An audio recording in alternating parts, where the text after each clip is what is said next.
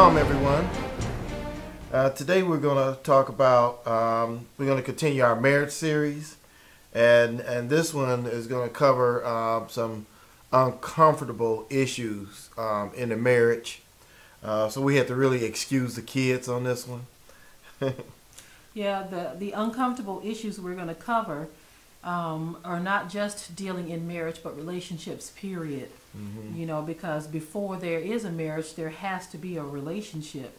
And so there are many videos out there where individuals are talking about marriage and what's required and what a woman is to do and what a man is to do.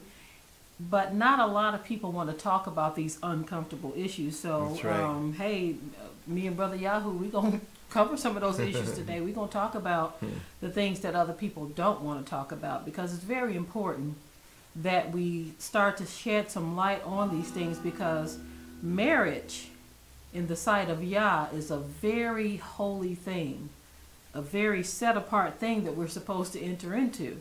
And you know, the scripture says, um, Whom Yah have joined together, let no man put asunder. Now, not every marriage was a union put together by the Most High. So this is what we want to talk about. You know, one of the issues we want to talk about, you know, in terms of who are we to marry, because not every marriage is a union of the Most High. That's right. Um, you know, the scripture, um, yeah, we hear it all the time. We, we talk to different people on the internet and they ask about um, marrying someone out of our race. And, you know, the scripture talks about it in the Old Testament. It mentions about um, uh, marrying a stranger. So we want to we want to look into some of these scriptures and um, cover them. So let's go to the first one here is um, Ezra chapter 10. Ezra chapter 10, Ezra chapter 10. verse 1 through 3. Mhm. Yeah, this is one of those uncomfortable topics we were talking about marrying people of another nation. That's right. Because some of us seem to have rewritten the scripture on that. You know, some of us have our own interpretation of what the scripture means and who we are to marry. And we do this because of our flesh. We, we're saying, well, you know what? I know the Father has laid the law out, but I'm going to have to change it up a little bit because it don't go according to what I want. That's right. So we done made a new set of rules for ourselves. And we have to understand when you whenever you write your own scripture and you interpret things according to your own flesh, there's going to be a price to pay. And so That's these are some of the things we're going to talk about today. yeah, well, I want to. We're going to talk about judgment, and we're going to see if we see the same type of thing going on in our society. So I want you to really pay attention to what we show you here. Okay. Now let's look at uh, chapter ten. Uh, start at verse one. It says, "Now when Ezra had prayed, and when he had confessed, weeping and casting himself down before the house of God, their assembly there." There assembled unto him out of Israel a great congregation of men and women and children, for the people wept very sore. And Shechaniah, the son of Jehiel, one of the sons of Elam, answered and said unto Ezra, We have transgressed against our God, and have taken strange wives of the people of the land. Yet now there is hope in Israel concerning this thing. Now therefore let us make a covenant with our God to put away all the wives and such are born of them according to the counsel of my my God. And those that tremble at the at the commandment of our God, let it be done according to the law. Wow. Now, that's a touchy subject because there are people out here that say, "Well, you know, I I, I uh, married out of the race, and and you know, and and and so what you're telling me here is I got to put. Now, I'm not telling you anything. Okay, I'm just showing you what the word is saying here. Okay.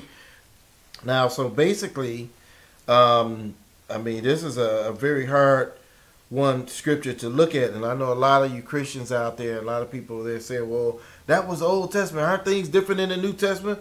Well, we're going to determine all that. That's what we're here to do. We're going to try to determine and see if this is something that we're supposed to still be um, keeping to. Okay. one important thing I want to note in this when the scripture said that you were breaking the law, it didn't give any specific things as to, oh, what if she's keeping the law or what if this, it just said that these women, and they were no doubt living among us. And they, they observed our ways, and their husbands may have even tried to get them to That's live right. according to our ways. But the transgression was the fact that these women were not to be, you weren't to take them as wives in the first place. That's right. The That was scripture the says you were breaking the law in doing that. And so the solution was, and when the people came to them, they said, We have a solution. We have to put away our strange wives. That was the that was the fixing of this. Put away our strange wives and the children that were born of them. That's and that's right. why we said this is going to be very, very uncomfortable. Because when you look at these scriptures, it's cut and dry. Is there's no other way that you can interpret this, and we have many other scriptures too that we're going to cover, but we have to understand the Most High has laid forth His rules and His laws, and we can't rewrite this. This is not coming from us because once upon a time, uh, we too held to the belief that whoever you love, that's who you can marry, because that's how we were taught in this land that that's how it was to be. But when you look at the word of the Most High, when you look at what He has laid out, you have to then take a step back from what you want and from, from what you've learned that wasn't right. You've got to take a step back from that and say, What thus saith Yah. Absolutely. You know, I look at it like this too. You know, um, the scripture says we be in the land of our enemies, right? Mm-hmm.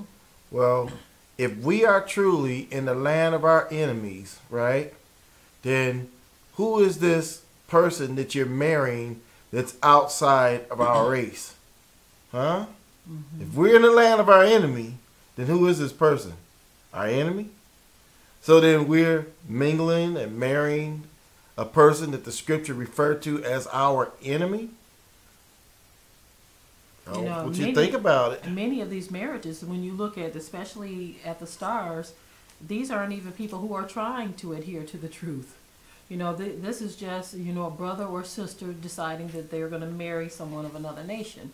And so we have um, we have come into this belief that whoever you marry, it's okay as long as as long as you love them and all of this. But when you trying when you're trying to get back into the Father's will, you have to look very carefully at what His Word says. And so we, we're going to cover many more topics here that are going to be very uncomfortable. But we want to come from the Word first, so that you can see exactly where we're coming from. And we're going to go on to First Esdras, the ninth chapter, verse seven through nine, and then Tobit four and twelve.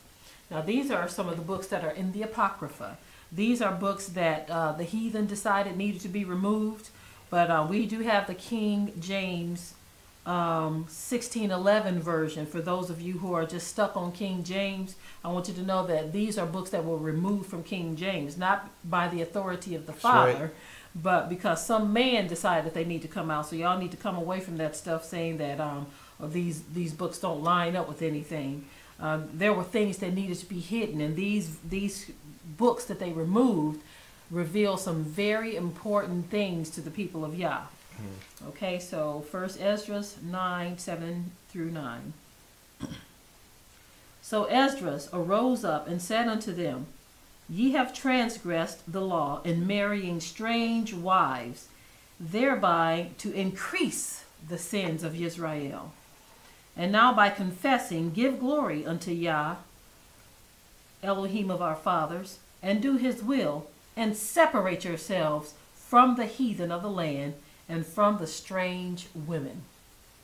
Now, that scripture is very deep. I mean, what can be said other than what you see here? Um, it says that we have to separate ourselves from the heathen and from the, the women of that land, the strange women of that land. So, whatever lands that we go in that are not our own, when we dwell among these people, we are to separate ourselves from them and from their women. You know, a lot of brothers right now are teaching that um, you are what your father is, okay? They're teaching that basically to say, even if I do have a child with a heathen woman or a strange woman, that that child is still Israel. And that is not according to scripture. That's not in the scripture. that is not according to scripture. This is why the scripture, the scripture we just read to you, it actually says, "Put away the strange wife and the children that are born of them." And it also um, makes it clear in other other passages where the children that are born that are not of Israel don't get the inheritance with the children of the kingdom. And it also says that they are mamzers, and the more harsher term for that is bastard. You know, and a lot of people don't want to deal with that, but this is what is in Scripture and why it's very important that we obey what the Most High has said. He has told us who we are to marry. Mm-hmm. And so, what a lot of us are doing now is we're ignoring that. And um, we're taking the Most High's word and we're just push, pushing it under a bushel. You know, because it's too uncomfortable. We are so settled in these lands that we live in. Uh, we're so settled here in the Western culture and the Western way of thinking that we cannot fathom that I can't just marry who I want to marry. I mean, he's, it's even getting to the point where, you know, men are saying I should be able to marry a man if I want to, or a woman is saying I should be able to marry a woman if I want to. That's how far removed from the Most High's laws and commandments we're be, we're, we're becoming.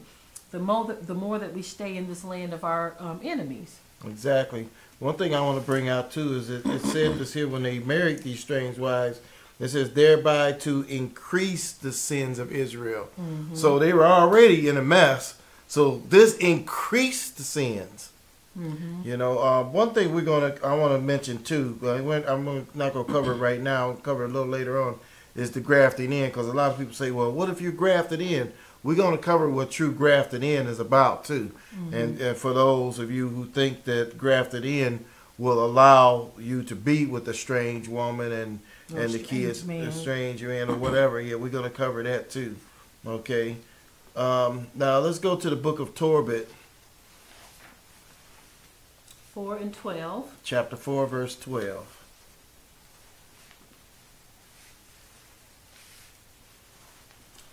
Okay, it says, Beware of all whoredom, my son, and chiefly take a wife of the seed of thy fathers, and take not a strange woman to wife, which is not of thy father's tribe. For we are the children of the prophets, Noah, Abraham, Isaac, and Jacob. Remember, my son, that our fathers from the beginning, even that they all married wives of their own kindred, and were blessed in their children, and their seed shall inherit the land. Hear that? Their seed shall Their inherit seed the shall inherit the land.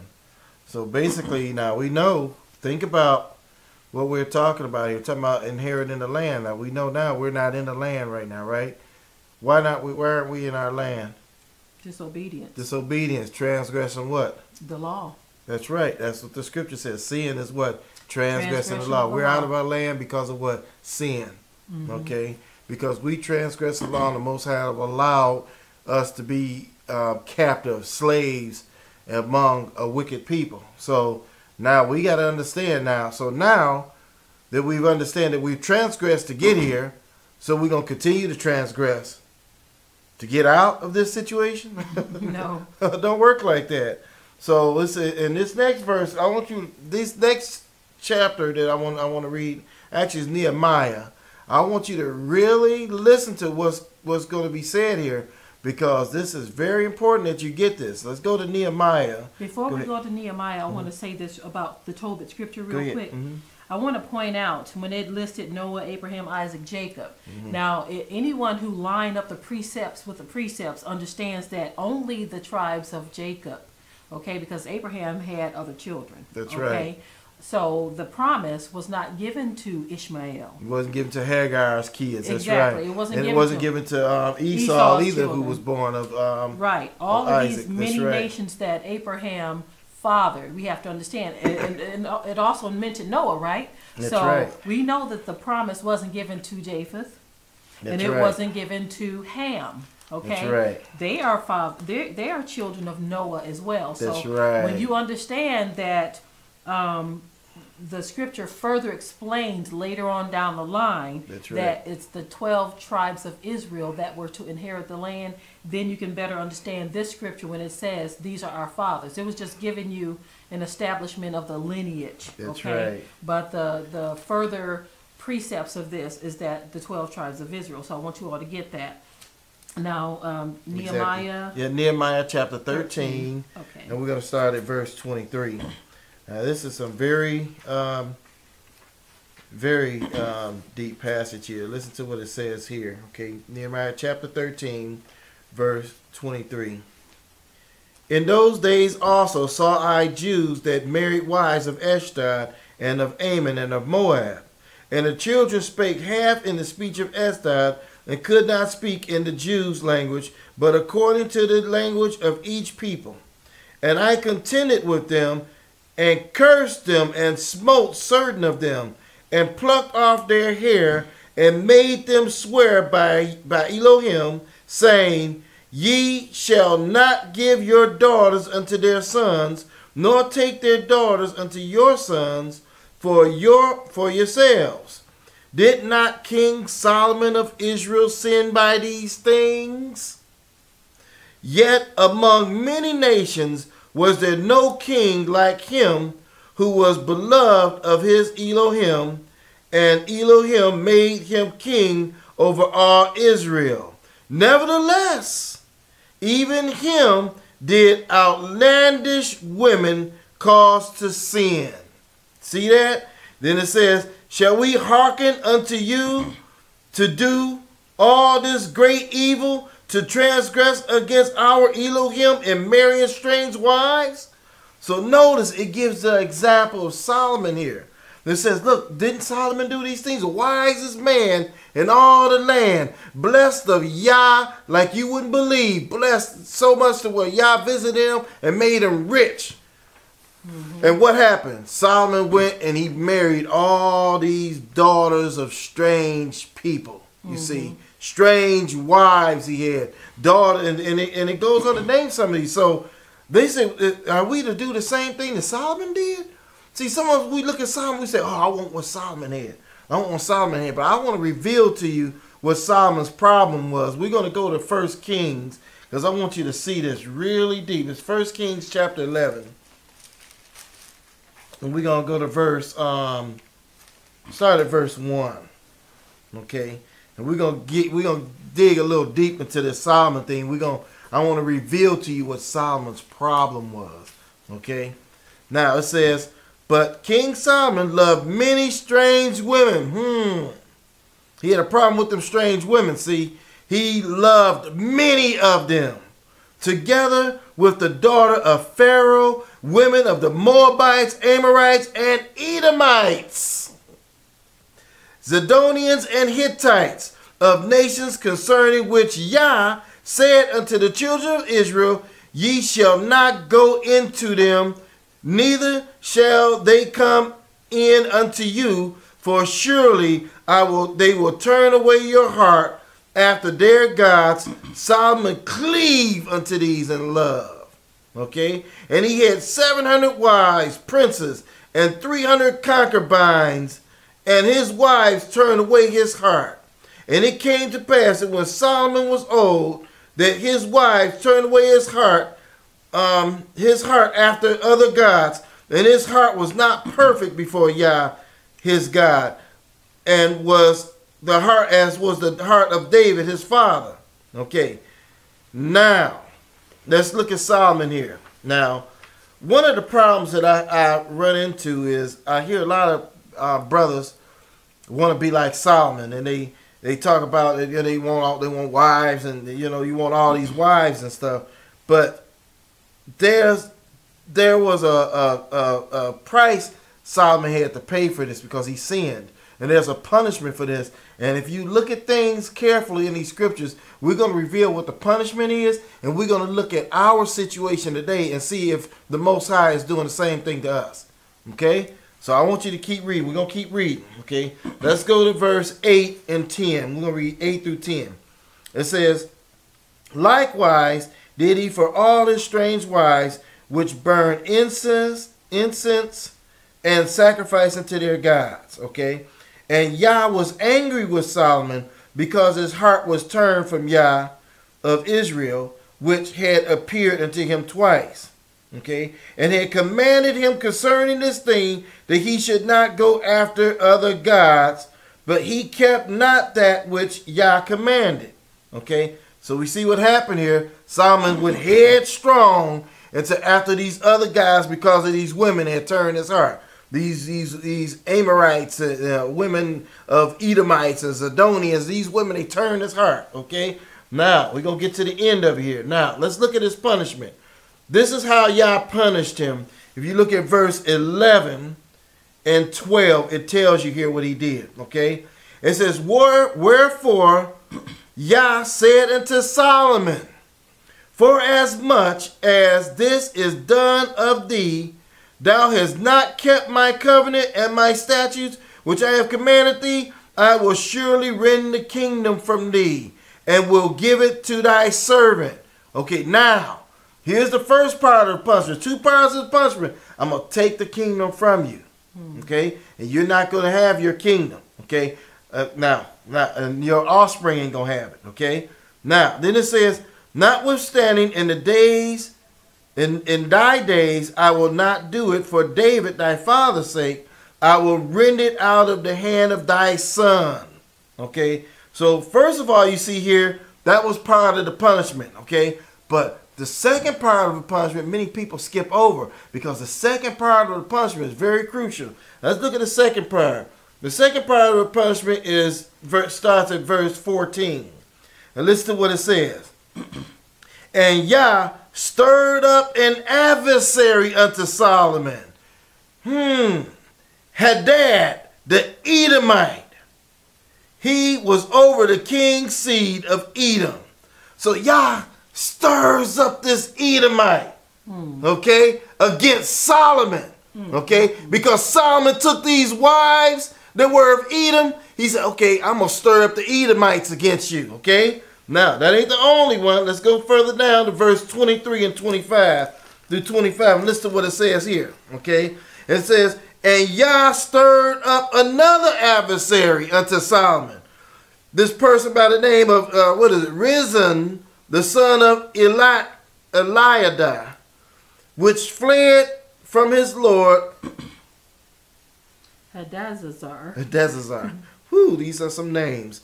King of uh, Zobah. And he gathered men unto him and became captain over a band when David slew of Zabah. And when and they went to Damascus and dwelt therein and reigned in Damascus. And he was an adversary to Israel all the days of Solomon beside the mischief that Hadad did, and he abhorred Israel and reigned over Syria. So now you got Hadad that Yah raised up an Edomite to what? Come against Solomon and this other person who was raised up all the days of Solomon, they came against Solomon. You see that? Now, let's look at the pattern here. And stay with me on this. Look at the pattern. Okay, now when the 70s came, because really uh, uh, a lot of interracial marriage things started in the late 60s. It was still problems of it in the 60s. But when the 70s came, it opened up. Mm-hmm. Now, if you look in the 70s, what happened in the 70s? It gradually began to grow, mm-hmm. grow, and grow until over the past 10 years, there's been a boom with it. You know, all of your stars and people, and they made, they got this white woman women, uh, uh, black women getting white men, just totally booming, right? Mm-hmm. What else has increased in the past 10 to 15 years? What do you see on the news every day now? You see y'all raising up who?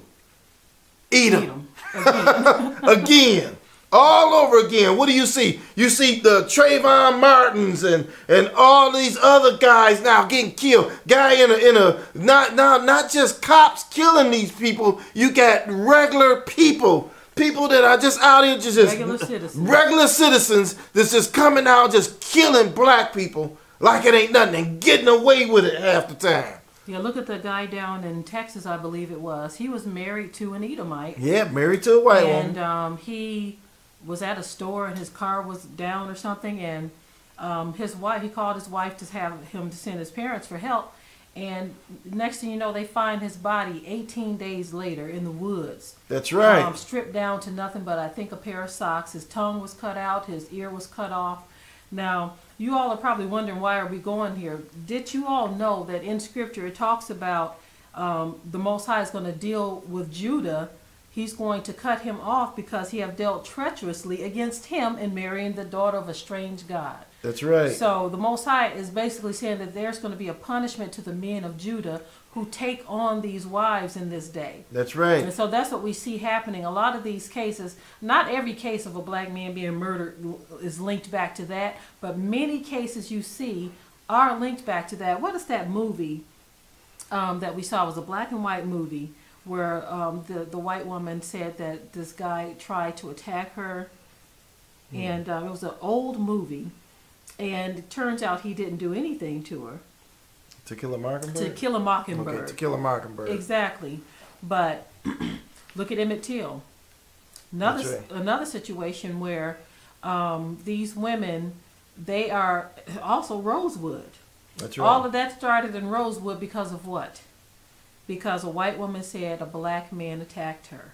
Yeah, look at um, Black Wall Street, like you Black mentioned. Wall Street. And then there's other incidents too, like the incident I can't think of the name. of It was a documentary about it where all of these boys were getting on a train, and these black boys were um, hitchhiking on a train, and um, um, um, stowawaying on a train. And basically, what happened was these two white girls was on the train too. So when the crowds caught up with these boys, and they were like uh, going to arrest them or whatever for being on a train, these two white girls thought that they, they they want to get out of getting arrested, so they lied and said that these boys raped them.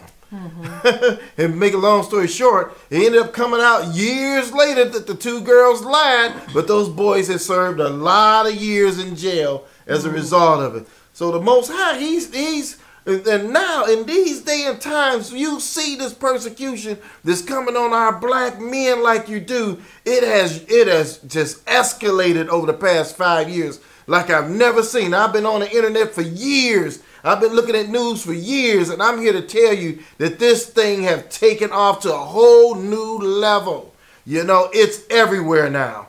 You know, where black men are getting just beat down and shot and killed like it's nothing. Look at the girl in um um Garden City was it or De- Dearborn Heights, Yeah. Michigan, who she she crashes her car and she goes up on a man's porch to ask for help, and he just blows her away with his gun. Renisha McBride. That's yes. right. That's right. And there was another case where a guy who played football, I think a college football guy, and he uh, crashed. He had an accident. And he went banging on somebody's door asking for help, and they didn't come out and help him. So he's walking down the street. Police come and they see him, and they just open fire up on the guy. Right. So this thing is a, it's common. It's so many cases of this guy walking down the street with a a 19 year old girl. Was she 21 or 19? He walking down the street with her on a cell phone. Cop pull up on the side of him, just shoot him in the hand and shot her in the head. Mm-hmm. You know, just kills kills a girl. And the guy look, he said, "What you shoot me for?" Mm-hmm. He, oh, I thought you had a gun. That's the new thing now. I thought you had a gun. You know. Or you lunged it. So basically, what we see happening is these punishments that are um, we see happening to our people. It, it can be linked to many different things, but getting back to the subject of marriage, there was a punishment attached to the men of Judah who goes after the strange woman. The Most High said that that's an abomination. That's right. And there is no way that we can rewrite the scripture to make it mean anything else. It is what it is.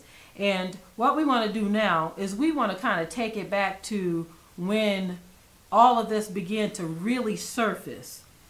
Um, as my husband was mentioning before, back in the 70s, That's right. we began to see a trend. That's and right. a lot of trends that are introduced to us as a people is through music. That's right. It's like music programs us like we are um like we're robots. That's right. You know, we hear something in the music and we just take it and run with it. And um, the issue that I'm going to bring to the forefront is Rick James. That's okay. right. Rick James had a song. She's a very kinky girl, the kind you don't take home to mama. Super Freak was the name it. Super freak. There you go. Super freak. Super Freak. Super freak. Now, get this. Most of the women, we actually saw an article because we wanted to be able to explain this to you all in a way that you can understand. This article actually said that Rick James is the one who made it popular for black men to go after freaky white women. That's right. Okay? And when you listen at his music, he tells you. He says she's a super freak. Most of the women he hung out with were That white women. that he dealt with white women. Exactly. That's right. This is what he dealt with. and so right. Black men during that time began to say, Well, wow, I'm gonna have to check into this. They're super freaks. I See, need that's a what they wanted. yeah. I, I need a super freak, and that's what Rick James did to us. Okay, That's as right. a people, he was the music industry. Period. But but we're bringing Rick James into this particular conversation because this is what we're covering.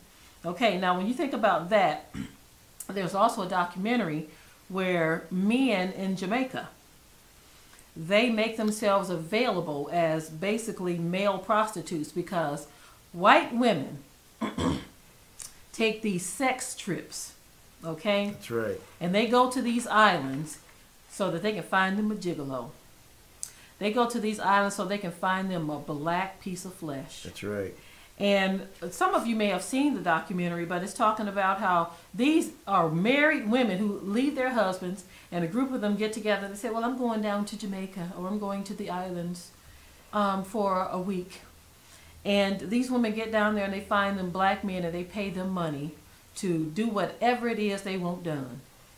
And one of the one of the men, uh, one of the Jamaican men said this. He actually said that the reason why they like the white women Yeah. is because our black women are like those Old Testament women. now y'all know what that means. yeah. Basically, the what the black woman ain't doing the nasty, freaky, super She freak ain't a stuff. super freak. That's right. She's not doing all of that for us. So therefore, um, I'll I'll be her lover, this white woman's lover. You know, this is what the brothers are saying. That's right. For a week, she buy him for a week, so she's buying his body for a week. That's She's right. She's buying his super freak sex for a week. That's right. Okay. Again, if any of you are uh, too uncomfortable with this conversation, please uh, just tune on out. You need to hear it though. You need to hear it But we're trying to bring home some points here about right. what's destroying the black marriage structure. you know one thing like we brought out uh, Rick James. He came out back in the seventies. See, this is during that time in the seventies. Now, when you think about it, I remember this very carefully because I had guys around me that were older than me, my older brothers, and I remember the things that they all would say. Okay, now these men were going after white women. Why?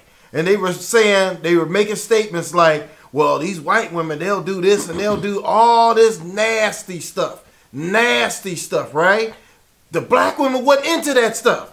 They wasn't trying to do those things. They wasn't doing those things, and therefore those men were going after these women for that stuff. Now you got to see what's going on here, right? So then the black woman, she sees her man going after after this um woman for this and for that, and so it made her uncomfortable. It made her figure that that man, maybe I got to do something else, something to try to keep my man. But let me explain to you what's going on here. I want you to look at this. There's a statement that women make, and I've heard people make this statement. And the statement goes like this here that if you don't do what it, takes to please your man, then some other woman will. Mm. Okay, I'm gonna tell you what's going on with this, and you better listen to me on this, okay? First of all, that man got lust working in him. Yes. It's a difference with having a natural affection. You're supposed to have a natural affection for a woman. That's natural. But when your what you have in you causes you to seek after all this freaky stuff, there's something else is working on you. It's called lust. See, Solomon had lust working in him. Now, I want you to get this carefully, okay? You women out here to feel like, oh, well, maybe I got to do this to my man and I got to do that. No, you no, let me tell you why. It ain't gonna matter. Mm-hmm. Because lust is lust. There's no fulfilling lust. Mm-hmm. Are you getting this? That means that a man can go from one woman to the next, to the next, to the next, to the next, and there's still no fulfilling that lust. Because lust is like a whole well, a whole world of, of, of, of problems. Okay? Mm-hmm. So that's why Solomon couldn't stop at one woman. You get it? Because that lust, he couldn't he couldn't fulfill that desire. That's what's going on in these men. So if you think that oh oh maybe if I if I do this uh, if I dress up like this and I I, I put on this and I act like this and I, I perform some of these nasty acts that these Edomite women do out here. I'll keep my man. No, you wrong. Because all you're gonna do is guess what you're gonna do? You're gonna feed that lust demon. Yep. And that lust demon gonna keep on growing, keep on growing, and you're gonna lose him anyway. That man has an issue, and that lust issue need to be dealt with. Now I want to give you this scripture here because I want you to see this scripture. This is in James chapter 1. It is uh, verse 14. Okay? James chapter 1, verse 14. And listen to what it says here. Okay? It says, actually, I'm going to go to verse before. Okay? Verse 13. Let no man say when he is tempted that I am tempted of Yah. For Yah cannot be tempted with evil, neither tempteth he any man. But every man is tempted when he is drawn away of his own lust and enticed. Mm-hmm. Okay? For when lust have conceived, it bring forth sin. And when sin, when it is finished, bringeth forth death. See, that's what happened to Solomon. You mm-hmm. see, that lust was there and it, it he sinned mm-hmm. because he had the lust. Mm-hmm. He couldn't deal, he didn't deal with that lust. You see? So basically, you know, this is a, a wicked thing. We got to understand we can't transgress transgress against uh, Yah's commandments. We can't sin against him and his word and his truth. And we got to walk in walk in the light. Absolutely. And so back to the marriage issue, you see how Solomon got all twisted and tied yeah. up and tangled up in this lust. And black men have gravitated to the white woman for this reason. Now, many of you will argue and say, well, no, the white woman is more docile. That's why we go after her. Or the white woman is more this. Or she's a better mother. I've heard brothers say that white women are be- better mothers than sisters are. Now, if we're really honest with ourselves, you got bad black mothers, you got bad white mothers across That's the board, you got good and bad in both. So That's to right. generalize and say um, that white mothers, uh, white women are better mothers, you're just trying to further give yourself an excuse to go after them when it's already been been established why black men go after white women. It's because they want to fulfill a specific lust. Okay, we forgot about Shaq and all of this. Oh yeah. I mean, uh, th- this was just something someone posted on Facebook the other day where um, now you know of course he left his wife already. You know him and his wife are divorced but this other young lady he was with you know an edomite. pretty much revealed revealed um, in court. in court some of the nasty things that Shaq wanted to do okay? Um, first of all she exposes talking about his penis size you know which that is to me ignorant okay? And then she goes on to talk about how he likes to have oral sex with her while she's on her period. Now, that's, now, that's nasty, just plain that's nasty. just nasty. That's just plain nasty. And this is the type of filth that has crept into the minds of the men of Judah. They want this strange, filthy sexual experience yeah. that we were to keep away from. And when you hear a brother down in Jamaica saying that this is why we go after the white women because they do all that strange, nasty stuff that we like, you have just told us that you have erred away from the ways of Yah. Mm-hmm. You don't want no Old Testament woman. That's right. That, to me, for a black woman, that's a compliment to be called an Old Testament woman. Okay, mm-hmm. but you have to understand some of our sisters when they when they hear these things, they feel betrayed because they wanted to keep things on the straight and narrow. That's and right. it, it's not until today's time, I would say, I would probably say over the past 30 years or so, that black women are starting to venture off into all this wicked, nasty stuff too, because she's trying to recapture the hearts of her men. But let me tell you, sisters, it backfires on you though. It backfires on the sisters because our men will tolerate things from strange women that they will not tolerate from you. That's right. You know, someone that posted a picture of these two very heavy white women look like they're about 400 pounds. and some of the brothers were saying that they would get with this one right here, you know.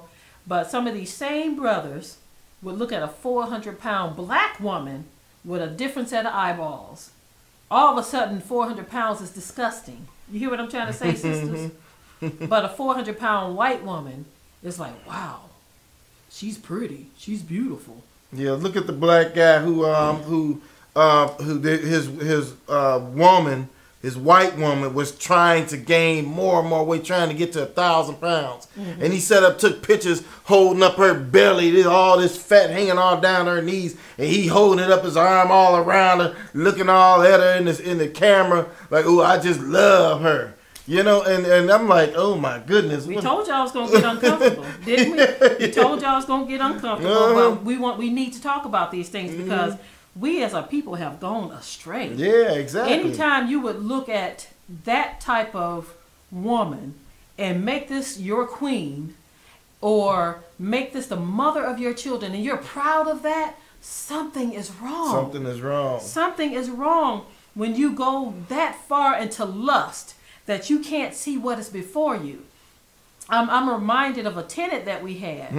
Uh, we actually got a call. We, you know, we thought we were going to be renting to a, a brother. You know, at this particular time, we had a two-family flat in Detroit, and um, this brother called. and He said he wanted to rent the flat. Then he went on to tell us um, he's renting it for his girlfriend. Okay, the plot thickens. Yeah. Okay, when we got there and we took his application, and then This was years ago. We This was wasn't into time ago. we wasn't into the things we, we understand now, but right, right, we did, we weren't into the truth then. We were just Christians back then. Okay, so it a lot of things didn't matter to us. You know, whoever you were, whoever you fall in love with, that was you. But here's where the plot thickens. Um, this man, I, I guess he began to feel convicted when he saw us because he began to explain to us the situation. He was a married man. And he was renting this house for his girlfriend. Now, get this, he also owned property. Mm-hmm. But the situation with the property he owned, this young lady used to live in one of his properties.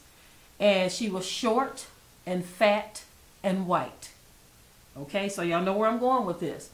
His wife said she got to get up out of here. You know why they put her out of his place and put her into our place?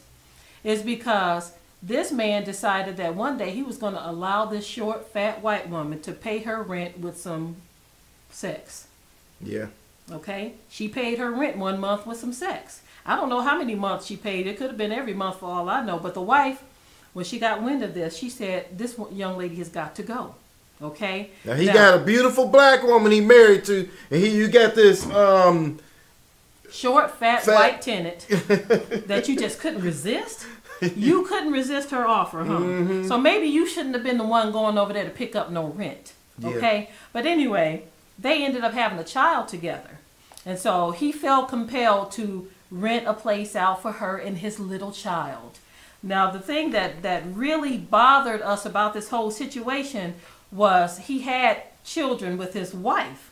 He had black children. But this man was so proud of this little mixed child that he had. The pride, he wore it all on his face. He would mm-hmm. he would pick the little boy up. See, the thing is, we had two units. So we were able to witness a lot of this. While she was living in one unit, we were working on the other unit, still getting it, getting it ready to be rented out. And so she shared a lot of things with us, and he shared a lot of things with us because he was always over there.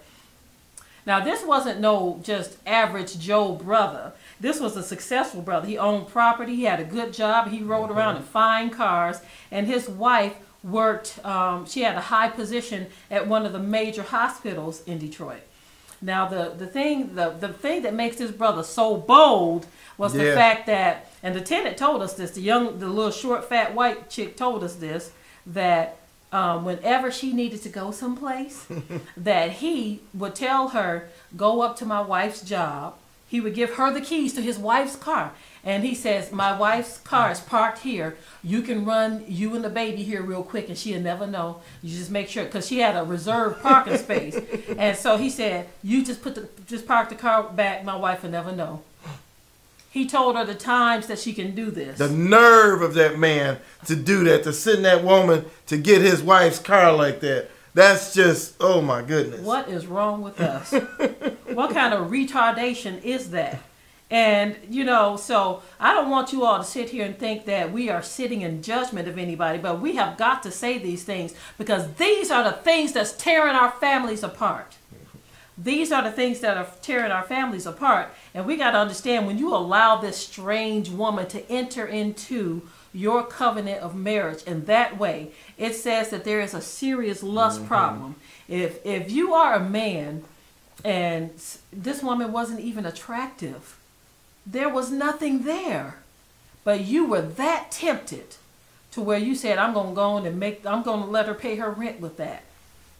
If you are that weak, then something is wrong, brother. You have a serious lust problem to where you're willing to put it all on the line. And then all you can do is respond in pride. You're so proud that you have a mixed child with this strange looking woman. Yeah. You know, anytime a man will cheat on his wife, period, you know it got to be lust. You know it got to be lust. There, you can't come and say, "Oh no, no, God, um, uh, God ain't did nothing. It was all you." You know, you get led by your own lust. You know, so you know it's it's just like we always said, it is what it is. It's lust. Yeah, we have, you know, not not just black men, but even black women. We all Yep. seem to be in, under a spell. Yeah. We're all under a spell. There are black women now who want nothing but white men. You know, there was a, a young lady um, we knew back in Michigan who had four children by four different white men. Okay, she was very articulate and all this, and, but she was so proud. She would say, "All of my children have white dads. Uh, I just didn't want any black children." Now she's very dark skinned, okay, and so obviously she had a complex, but she was so proud of her mixed children. Mm-hmm. Not one of these men asked for her hand in marriage, mm-hmm. but they were perfectly willing to drop their seed in her and give her a mixed child, which was her heart's desire. And so you got to ask yourself, where does this pride come in having a mixed seed mm-hmm. that the scripture actually forbids? Okay? You know, I, I don't want anyone to take offense to this. We're just trying to keep it real and tell the truth that we as a people, we hate ourselves so much. We don't want the nappy, kinky hair. We don't want the dark skin. So we're going out here trying to produce children with people that were said to be our enemies. I remember before I met my husband, I was a teenager, as a matter of fact, probably about 17 or 18 years old. Um, I had um, ran into this young man and he was telling me how beautiful he thought I was, and you're you're one of those Nubian queens and all of this different stuff. And he said, but every black man's dream is to have children with a redhead white woman. I said, wow, I never knew that. Even though he says you're beautiful, you're a Nubian queen, every black man's dream is to have children with a redhead white woman because our children will be beautiful. So our people are messed up in the brain. We are gone. Not just here in America. Mm-hmm. In Europe, our people that are over in Europe, folk in Africa, we all are messed up in our brains. We have been so inundated with European Western culture that we hate our own selves.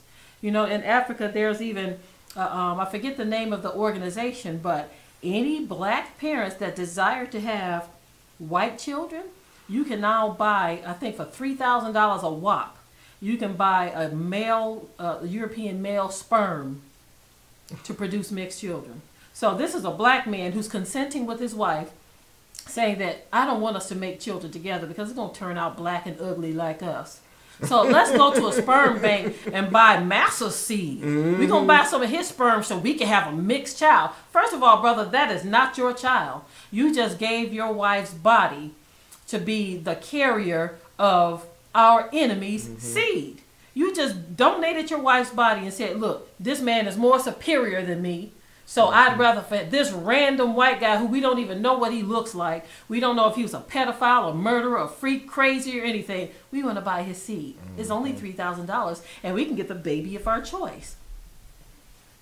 That is some pure mm-hmm. wickedness and hatred of your own selves. Mm-hmm. To even have such an organization around, and to even have black people that will sign up for something like this. This is why our marriages are just in such turmoil, and this is why marriages aren't even forming. There are certain areas in this country to where you see nothing but mixed couples, and you are hard pressed to find a black couple. A friend of mine who lives in um, Colorado, she said to find a black couple is rare, but to find mixed couples is off the chain. hmm Yeah, you know, it's, it's just a thing where where it seems like uh, we as a people are looking at at um, these these Edomites as if they, you know, they are a prize or some type of jewel to have one of them. You know, it reminds me of one day I was on back in the days when I used to drive a truck, and me and this guy was driving his truck, and we put up in this place where we was making this delivery, and we put up in a in a parking lot. There was a black guy out in the parking lot kissing this white woman. And, you know, he's tongue kissing this white woman. You know, but anyway, when our lights shined on him and he saw us, he he when he was, he was turned toward her like this here. He rose and looked at us, and then he just straightened up and smiled, and did, and then looked at her and smiled like like uh Look what I got. yeah, you know. And when we saw that, uh, my friend, he just he just fell out laughing, you know, in the, in the truck. And we, uh, uh, and I said, "Oh my goodness, I can't believe that guy did that." Then it was so obvious, and it's like, my goodness, this how that's how twisted we are in our head.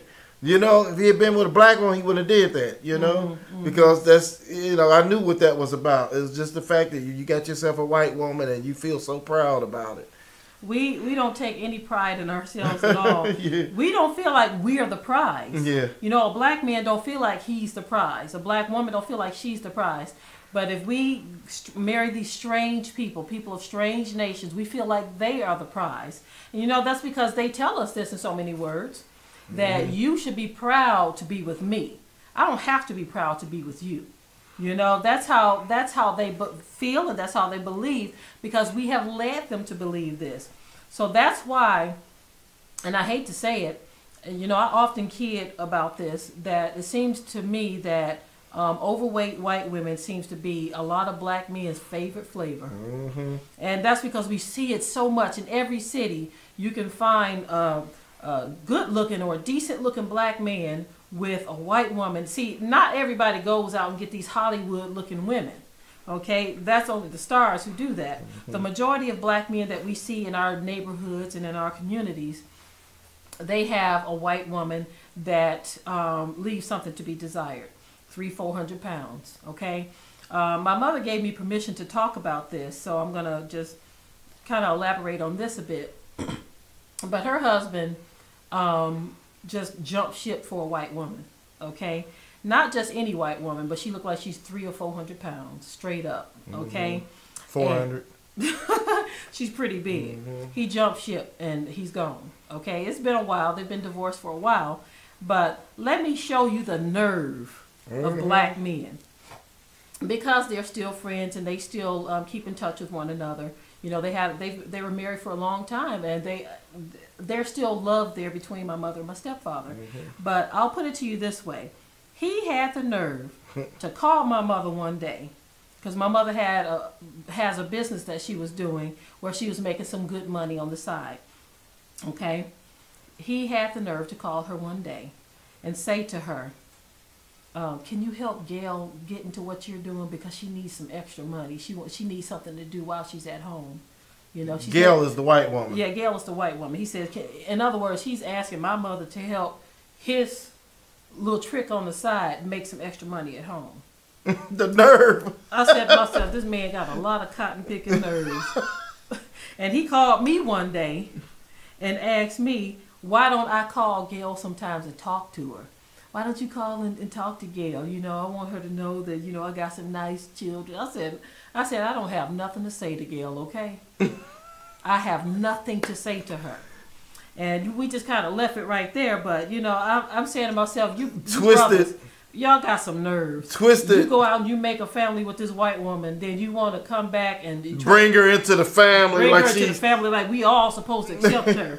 You know what I'm saying? Uh, he has a child with this gal, and he tells us, you know, you got a little brother. I say, I don't have no little brother. First of all, you my stepfather, okay? So any seed you make outside here with some other woman, you know, after leaving my mother, it's not my brother or sister, okay? And so I said, well, if I have a little brother, does he know about us? Talking about me and my siblings. He says, Well, no, you know, I can't explain that to him right now. He wouldn't understand. At the time, he was like 12 years old. He's um, about 14 now. And I said, Well, you know, I'm not his sister. I'm sorry. I know you're trying to make us all merge into one big family where I'm calling Gail and my mother's helping Gail out. With As he feeling rejected. You want to stay in this fold while you over here messing around with this over there. Mm-hmm. It's like, brothers, keep it real. Ain't nobody falling for this mess. you know, that is Mm-hmm. that is totally totally intolerable. Yeah. And so we got to understand what has messed up the black marriage structure. we can't have no solid marriages as long as we both looking on the other side. You know, Mm-hmm. as long as the women are looking on the other side and the men are looking on the other side, how can we fix anything amongst ourselves? It's literally impossible. As long as we look at what our enemies have, like it's the prize, Mm-hmm. we're never going to cherish what we have ourselves. One thing too is it seems like we're we're just more tolerable with with with um, the foreigner, should I say, the uh, strange woman. We or the strange man. We're more tolerable with these Edomites than we are with our own people. You know, we got a lot of mercy for them. They could kill our kids and and, and shoot our parents and, and and rob us and take our land and do all kinds of stuff. And we oh forgive them, forgive them, forgive them.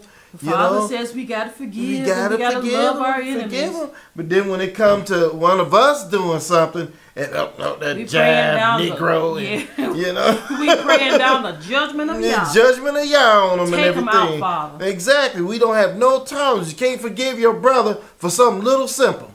Still talking about it, up all night talking about something simple that he done did, and these people can go out here and kill your kid, and you'll be sitting back in court where they, uh, oh, don't give him the death penalty, just just just just have mercy on him, and I forgive him. And guy, they ask a guy, you feeling remorse for what you did to this man's child? Yeah, and and, and, and, and the guy be like, oh nope. I don't feel no remorse. If I if I I had a chance, do I'd do do, it it, again. again. And he said, "But I still want to have mercy on him, though." I just pray that the Father forgives him so that he his soul can be saved.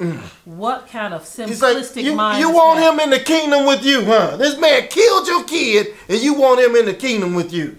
But we Whew. can't tolerate each other though. Mm, we right. have cousins, uncles, aunts, brothers, sisters, family members that we're we have less tolerance for than some of these people. That's right. And so it just makes me wonder. Any of you who saw the movie Django, they talked about the three dimples that black people have in the back of their heads that make them kind of um, docile like. Yeah, I can believe that.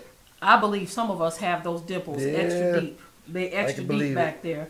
And so therefore he notice in the movie he said um, a white man he can come up on your come up on this porch and just he could just kill you and not even think about it. But we, on the other hand, we're so forgiving and so loving.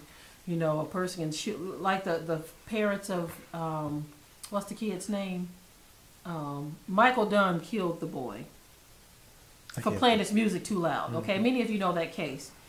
But anyway, his parents were talking that forgiveness stuff, you know, against the man who murdered their son.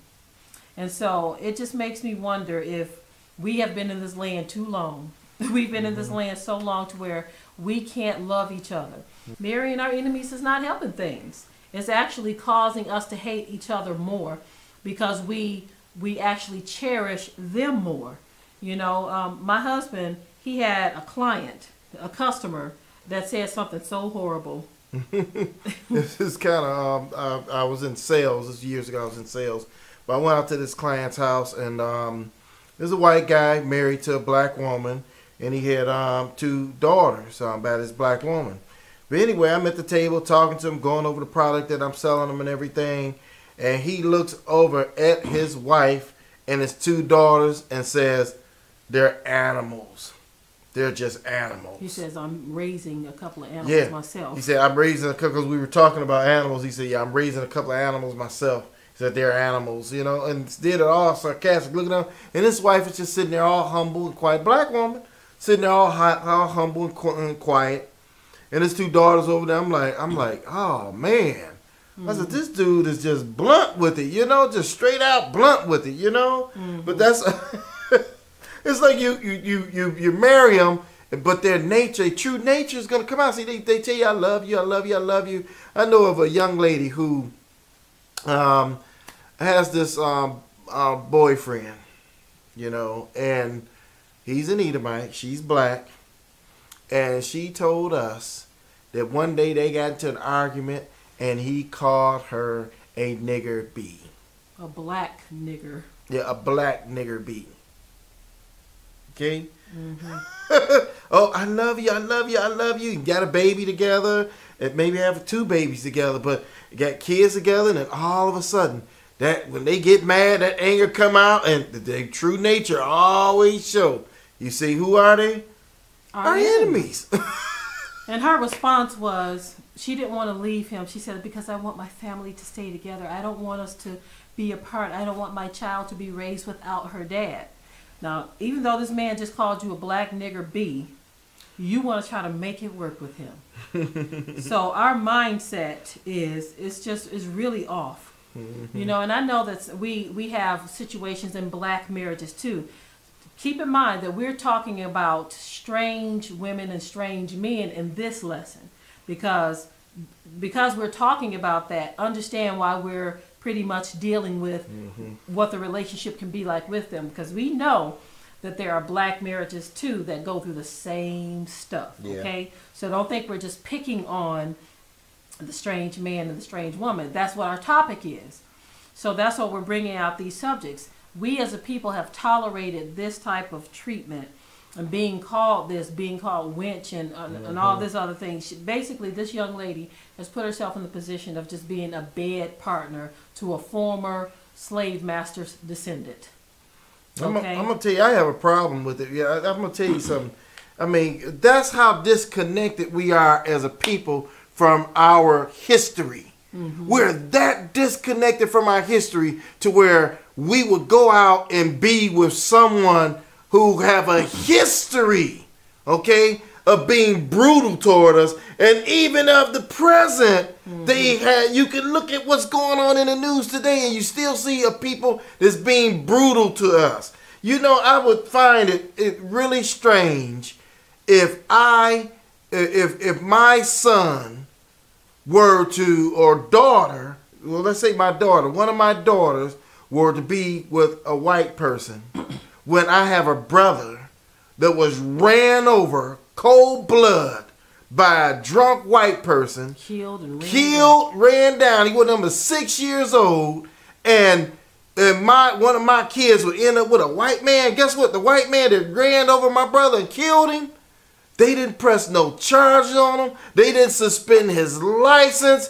He didn't go to jail. Did nothing happen to this man. And when my father tried to sue him, they wouldn't even let him sue the man. My goodness, I would feel strange mm. if one of my kids ended up with a Caucasian. I would feel very strange because that means that my kids don't have no knowledge of what has happened in the past. They have no, they have totally disconnected themselves. And that's what the problem is. We have totally disconnected ourselves from this. Now, one thing I want to bring up because I know a lot of you like that, but wait a minute, okay? So what are you saying? changed. Times have changed. Okay, well, let's talk about the grafted in thing, okay? First of all, I think a lot of people got this grafted in thing kind of mixed up, okay? There's two parts of being grafted. You can't be grafted in without the Holy Spirit, mm-hmm. without the Ruach, mm-hmm. Ha Kodesh, mm-hmm. okay? Without the set apart spirit. No grafting in. You ain't if you don't have that, you ain't grafted in. Scripture says, He that have not the Spirit is none of his. None of his. That's right. So now they gotta have the spirit, okay? But then after person get the spirit, now what? Let me explain something to you what true grafted in is about, okay? You see all these people out here, the um, Caucasians talking about they grafted in or whatever, right? Now, what did Yahshua say concerning his people? He said, If you despise my people, you despise me. You hear that? You despise my people, you despise me. So you supposed to be grafted in by the spirit, but you hate Yah's people, mm-hmm. huh? I actually had a white woman tell me, she says, Well, I just don't like black people, but I love Jesus. She says, Can I get into the kingdom if I at least love Jesus? I just don't know. I just I just don't like black people. You hate Yah's people. See, now, that not only on top of hating Yah's people, okay, you have no remorse for what was done in the past, and you have no type of justice. No type of justice.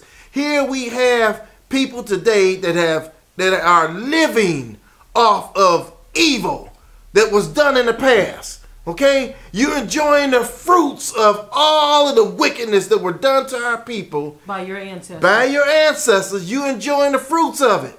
But yet, you can't see that. You can't understand that.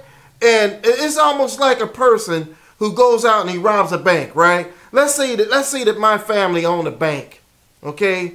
And my kids were to get this inheritance and all that, right? But this person comes and he robs the bank, right? Takes a million dollars, and then he takes his million dollars and go and build it into a multi-billion dollar company, right? And he done robbed my bank, took all our money and everything. Now we ain't got nothing. We done lost our bank. They ain't got nothing. And then my kids, kids, kids grow up and they get grown and they done lost all their money. They, their lives were rough as a result of it. But this person that took money and got rich and everything, then he comes back among me and say, hey, I want to be your friend. You know, I know my great, great, great, great granddaddy, you know, beat the hell out of you and robbed you and took all of your money and raped your wives and did all these things. And, and the money, you know, this nice house I'm living in and all this stuff that I've gotten over the all years. Land we have over Mhm, here. All of this is a result of, of what they did back then. But hey, Can we just be friends? At can we be friends and can't we just um, um, get along? And I'm not giving you uh, nothing. No, no, I'm on, I'm gonna hold on to that million dollars my granddaddy You're not took. getting it. I'm We earned that. Yeah, yeah, we earned we it. grew it into the empire that it is now. I I know that the down payment was the life of your grandparents. Exactly. So you're not willing to suffer. See, Moses, the scripture says he was willing to suffer with the people of Yah and to, then to enjoy the pleasures of sin for a season. So mm-hmm. here's the difference. This is what true grafted in is. When a person, I, we were watching Roots one time, and there was a scene where this white man fell in love with this black woman, okay? And they got married, okay? This man was wealthy. His parents were wealthy. And his parents told him, if you marry that black woman, you gonna we're gonna disinherit We you. gonna you we off." gonna cut you off. You ain't gonna get none of the money or the wealth that we have. You won't get any of it, right? That man loved that woman enough. He went and he lived among the blacks. He sure did. He suffered among the blacks. He gave up all his inheritance, totally gave up his own identity as a white man. Mm-hmm. You see that? And went and lived among the blacks and suffered with them. And he was even suffering the same stuff that they were going through. He was going through it too.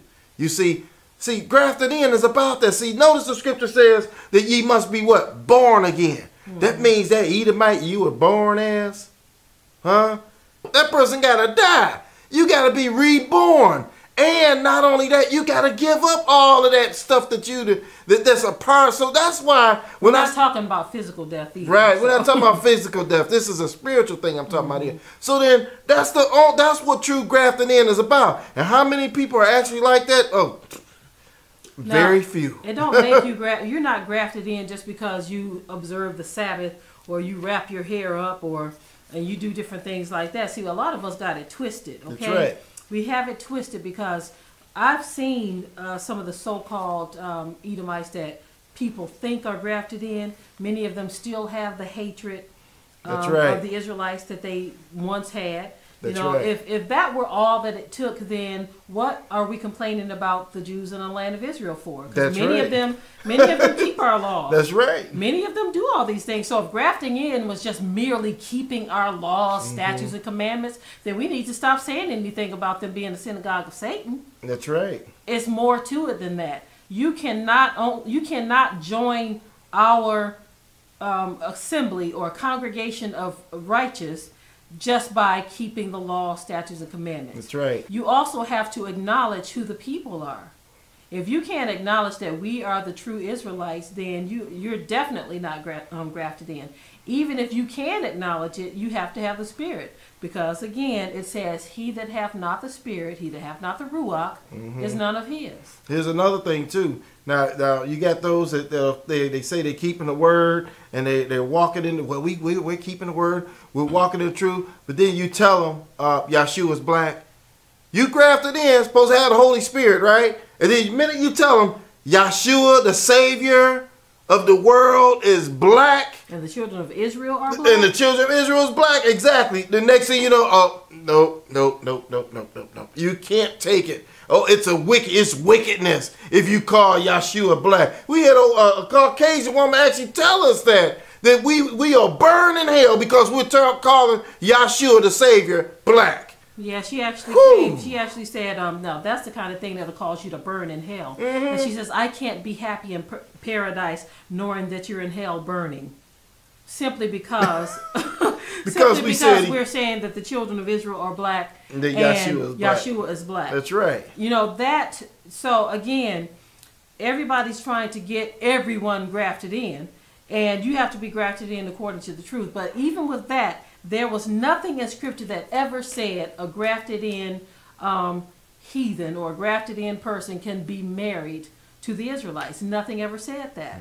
You know, and, and again, many of our people that are going out forming these marriages, they have created scriptures out of thin air to justify what they're doing. The scripture still tells you that the seed of promise are those that are born between the Israelites. That's right. You can't get around that. So on that note, we just, you know, I hope I, I know this was a very touchy um, um, topic. You know, the things we talked about here. But think about it. Research these scriptures yourself, and, and get an understanding, and, and and pray to the Most High that He give you understanding um, concerning these things. Because I mean, it's there. It's in the Word. You know, there's no way around it.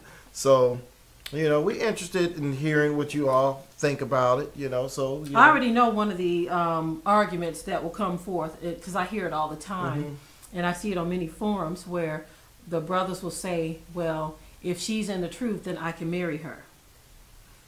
you know, and um, Hmm. likewise the sisters. Um, we know um, a few sisters who have gone out and married um, Edomite Jews, okay, white men, Mm-hmm. and they feel that it's justified because he's keeping the law. And there, the scripture never said that. So we can't just say that because they're keeping the law that we can marry them. And I notice it is kind of it. it of course, there are more brothers who are marrying um, strange women than there are sisters. But it seems like sisters are trying to catch up now. You know, it seems like our sisters are trying to catch up. And don't think for one minute that we're trying to um, perpetuate any type of hatred of anyone. We're just coming to you from scripture because we need to look at these things. We need to understand why these judgments are attached to these things. Why do we see our brothers? And one, one point we didn't bring out um, there was a uh, website that we saw a couple years Oh, back yeah, that's right. where they were saying um, since I believe it was 2003, hundreds of black men have been hung. Hung by the neck. That's Hung. right. Mhm. And they were saying that 75% of these men were either married to or dating a white woman. Seventy-five percent. Now that ain't no coincidence. Now they they're telling us loud and clear, leave our women alone. There was even an incident, remember, um, where this black guy was standing behind two white women in line, and they started conversing. They were just talking, okay. Um, don't know what they were talking about, but they were in a public setting, and a white man got so angry at this that he came up and he stabbed this black guy for just talking to these two Caucasian women.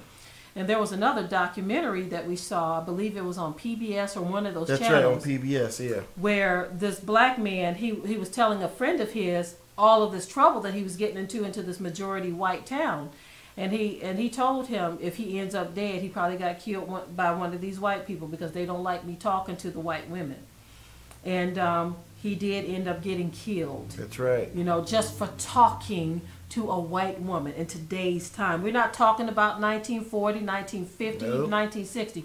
We're talking about now.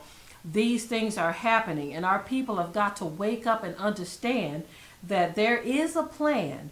There is a plan to destroy us. And from every angle, from the educational system to us marrying their men and their women, us going to their schools, all of this stuff is a result of us mixing and mingling with the people of the land. And the Most High told us not to do Not that. to. As a matter of fact, He told us to come out from among them and be ye separate. If you all have a different meaning for that, by all means share it with me, but that's pretty cut and dry. Come out from among them and be ye separate. Come out from among who? Mm-hmm. Hmm? Come out from among them and be ye separate. Then another one says, Come out of her, my people, that you be not partakers of her sins, and you receive not of her plagues. We have to take heed. We have to take heed. Well, on that note, we're going to say shalom to you all. Shalom. To the next time.